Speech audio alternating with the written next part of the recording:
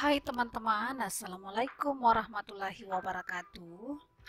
Jadi hari ini Kafar Kitchen kembali lagi berbagi resep Nasi goreng simple tapi kaya nutrisi. Dan ini sangat disukai anak-anak karena Bahannya lengkap tapi dengan metode masak yang super simple jadi ini anak saya sangat-sangat lahap memakan nasi gorengnya. Walaupun bumbu yang sangat minimalis tapi dengan bahan yang lengkap dan dengan metode masak yang benar. Oke teman-teman langsung saja kita bahas bahan-bahannya ya. Siapkan 2-3 butir telur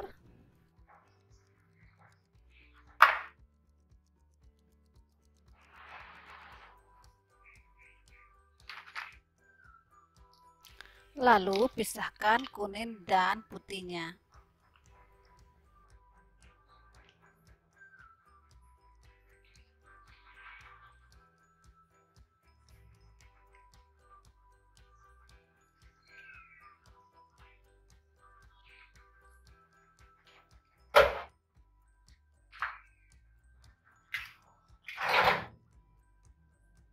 Nah setelah itu kuning telur dikocok lepas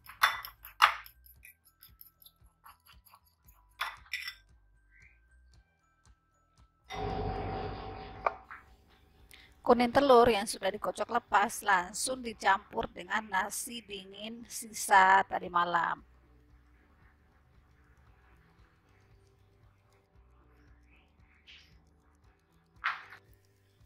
Aduk sampai tercampur rata.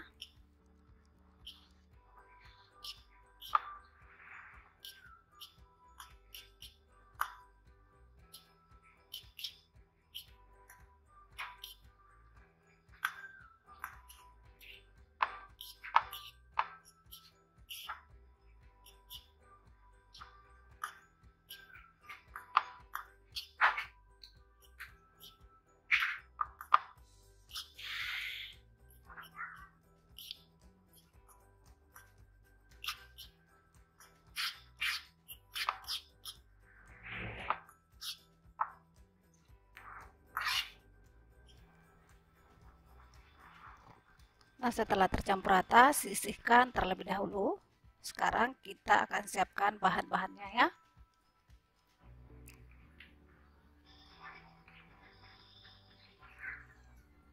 Nah, pertama-tama kita potong dadu wortel. Satu buah wortel.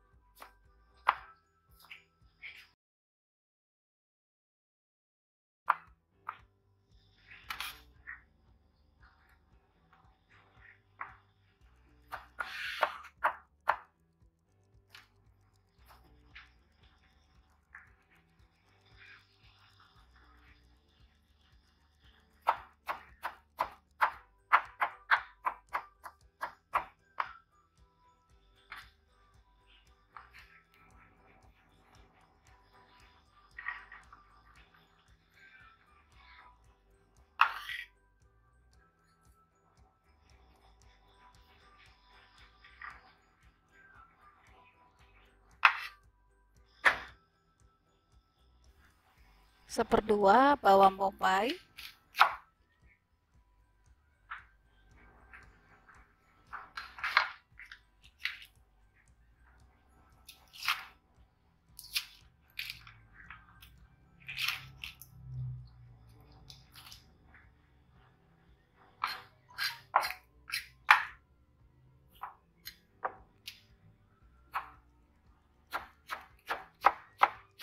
potong dadu juga.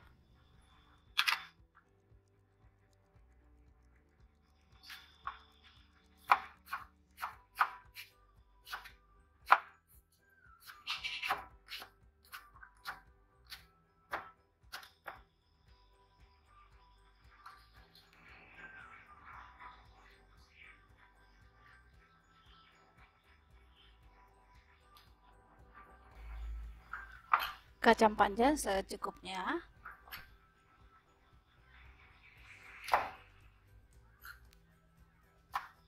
Potong-potong pendek juga kayak begini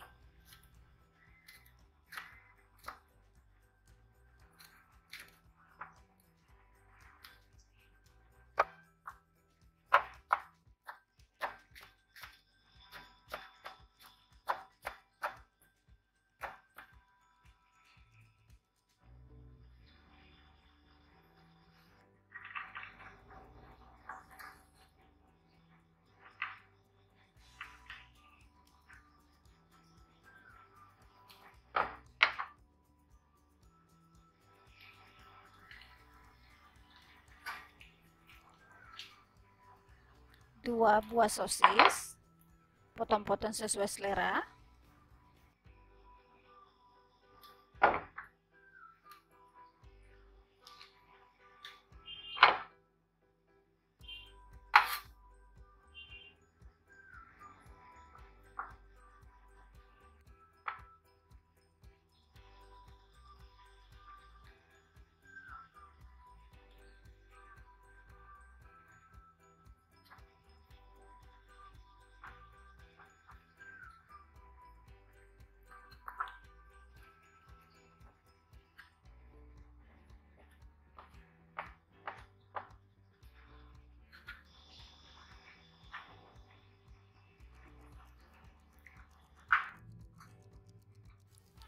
Siapkan wajan, lalu masukkan minyak secukupnya. Lalu goreng nasi dingin yang sudah dicampur sebelumnya dengan kuning telur.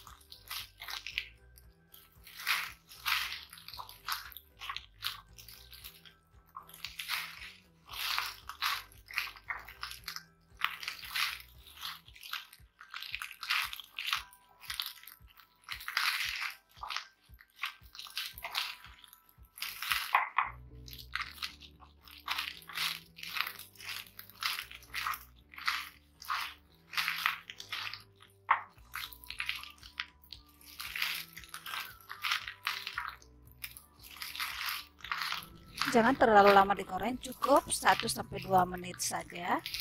Dibulak-balik setelah semua tercampur rata, diangkat.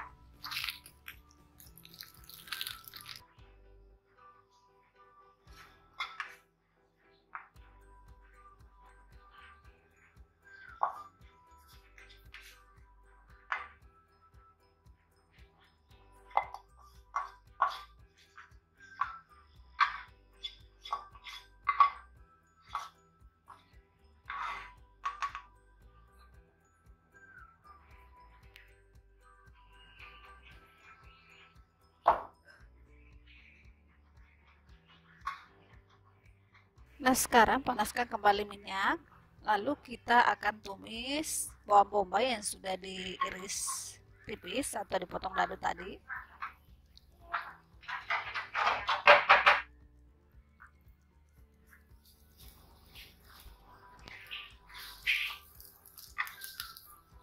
Goreng bawang bombay sekitar 2 menitan atau sampai agak sedikit layu.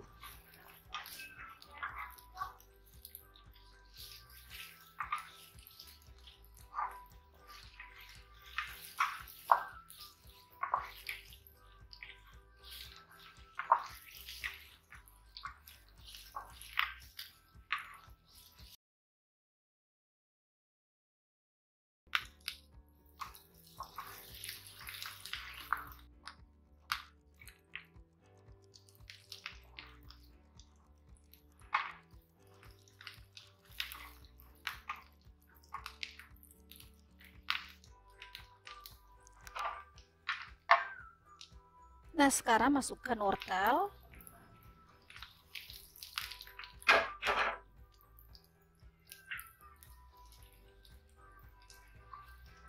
sosis dan kacang panjang.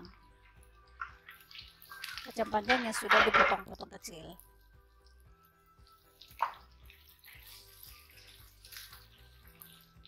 Tumis sekitar 3 4 menit sampai layu.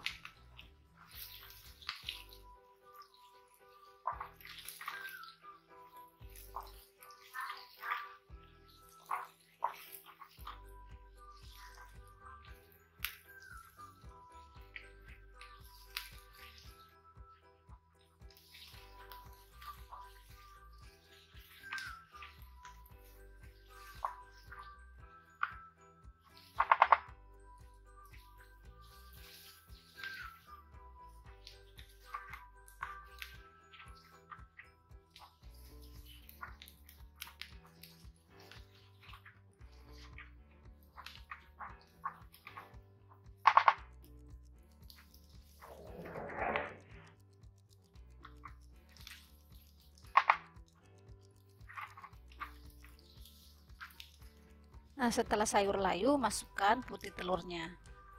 Terus aduk rata kembali. Sampai semua putih telur masak. Aduk terus.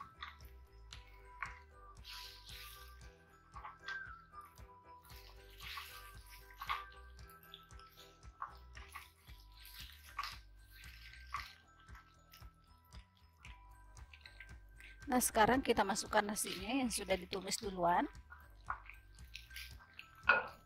Aduk rata kembali. Sampai semua sayuran dan nasi tercampur rata.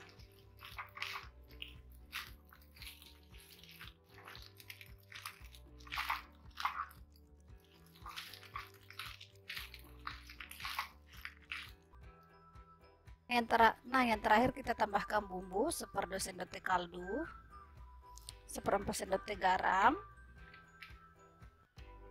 seperdua sendok teh merica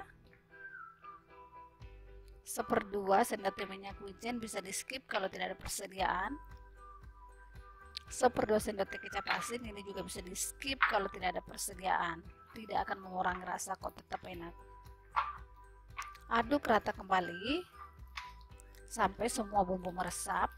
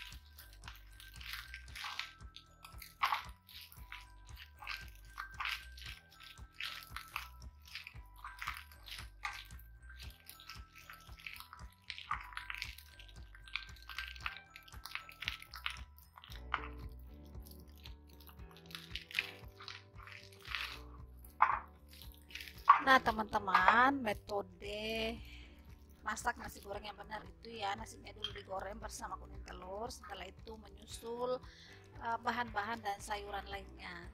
Oke saya kira teman-teman segitu saja videonya semoga bermanfaat. Dan jangan lupa setelah nonton please klik like share komen dan subscribe. Assalamualaikum warahmatullahi wabarakatuh. Enjoy the video